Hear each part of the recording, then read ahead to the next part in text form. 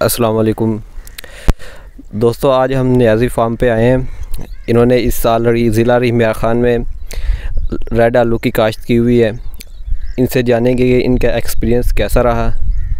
इन्होंने एस्ट्रिक और क्रोडा वैरायटी लगाई हुई है। चले आए इनसे पूछते हैं कि इस साल कैसा एक्सपीरियंस रहा इनका। अस्सलाम वालेकुम जी फ़ाहद न्याजी बात कर रहा हूँ न्याजी फार्म के प्लेटफार्म से जी।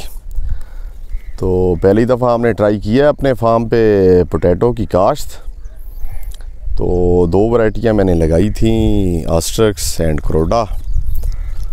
तो माशाल्लाह 130 दिन की क्रॉप हो गई है मेरी। हार्वेस्टिंग हमने इसकी स्टार्ट कर दी है। तो ये साल आलू के लिए थोड़ा सा मुश्किल था, इसमें फ्रास्ट वगैरह बहुत ज़्यादा पड़ी है इस साल, लेकिन यह है कि अल्हम्दुलिल्लाह साइज़ बेहतर बन गया आलू का। और हमने अपनी कोई मेहनत शहनत की है कोई फर्टिलाइज़र इसको जितनी कोई अल्लाह पाक ने अक्ल दी थी हमें तो वो हमने डाल के जो है ना अल्हम्दुलिल्लाह आज इस पोजीशन पे हैं कि इसकी हार्वेस्टिंग कर रहे हैं।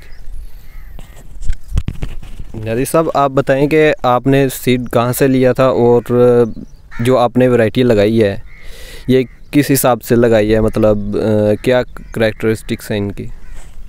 सीड मेरे भाई जो करोड़ा था, वो मैंने क्रेट मंगवाया था पिछले साल तो वो मेरा अपना सीड था। आस्ट्रक्स का मैंने मंगवाया था आरफ वाला से।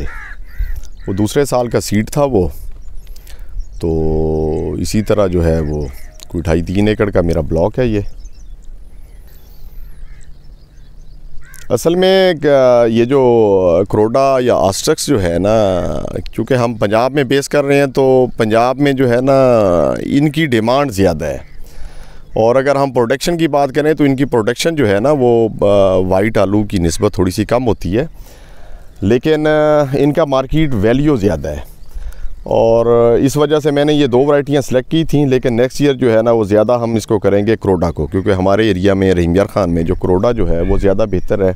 एक तो उसकी हार्वेस्टिंग जो है ना वो हम जो है ना वो सेवेंटी डेज़ तक कर सकते हैं अगर।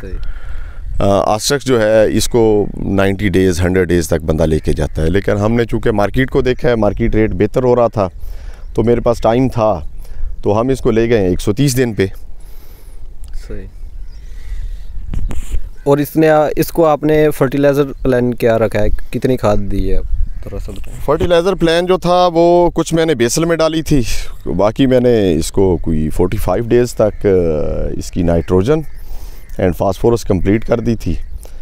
और नहीं फास्फोरस एंड नाइट्रोजन और उसके बाद थोड़ी थोड़ी हमने इसको नाइट्रोजन और पोटाश जो है वो 85 डेज़ तक हमने चलाई है। उसके ऊपर स्प्रे भी हुए हैं कोई कैल्शियम के भी हमने आ, कोई तीन चार इसके ऊपर स्प्रे किए हैं।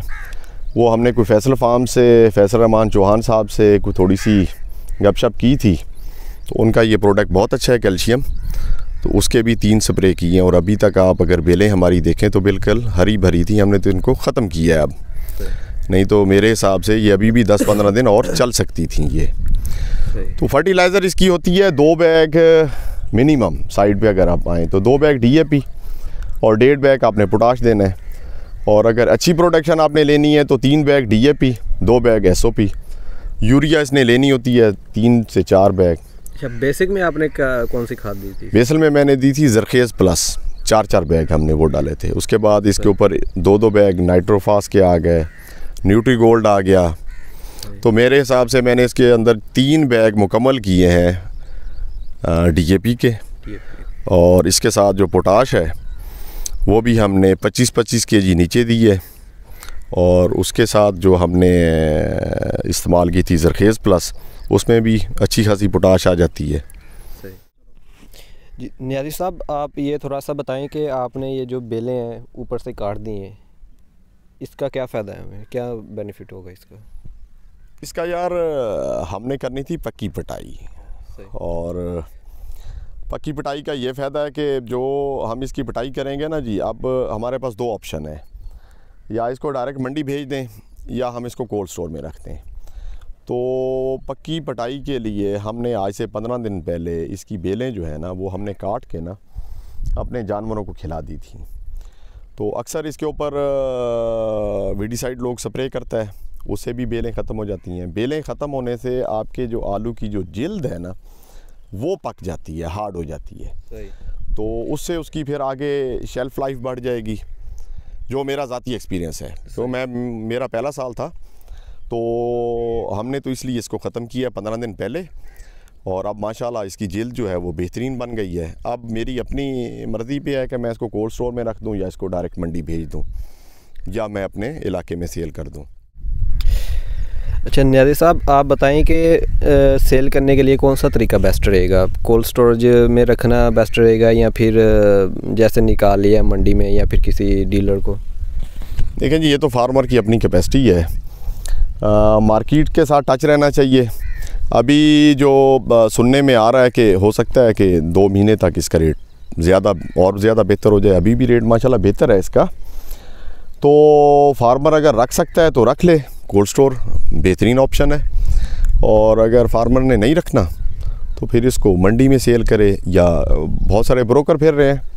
अगर मंडी से बचना है तो ब्रोकर को बंदा सेल कर दे। असल में तो आपका माल की अगर क्वालिटी अच्छी होगी तो अगर उसका साइज़ अच्छा है उसका कलर अच्छा है तो हर बंदा इसको ले जाएगा।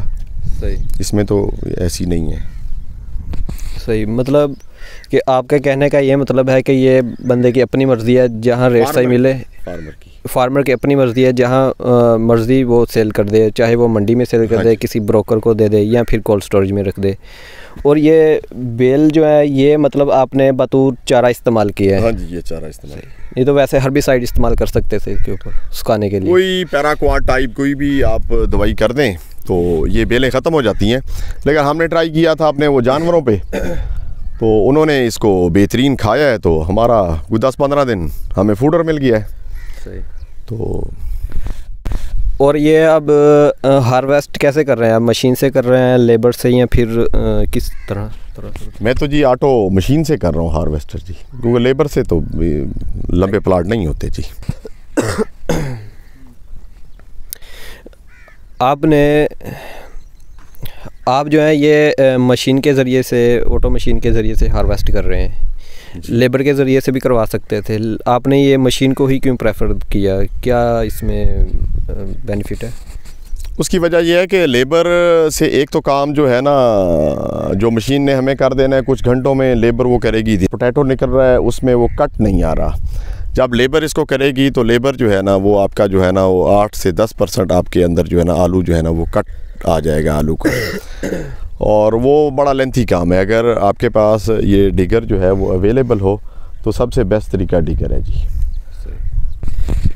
नाजरीन, ये बताना चाह रहे हैं कि अगर लेबर से करेंगे ना तो आपका आलू जो है ना, वो काफ़ी कट आ जाएगा, जिसकी वजह से मार्केट में आपको प्राइस अच्छी नहीं मिलेगी। इसलिए उन्होंने, उनके पास ऑटो मशीन अवेलेबल थी, उन्होंने ऑटो मशीन को यूज़ करते हुए हार्वेस्ट की। ये हमारा पर्सनल एक्सपीरियंस था।